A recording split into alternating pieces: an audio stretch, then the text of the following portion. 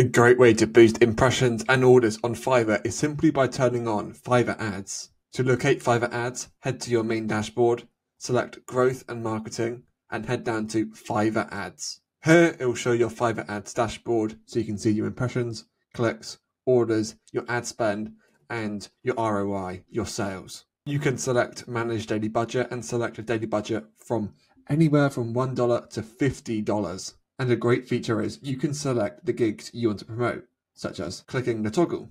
And you can see the impressions, clicks, orders, and ROI for each gig campaign. And you can go back in time and see last month's results. For example, in February, I spent around 330 USD and generated just over 2000 USD from 19 orders.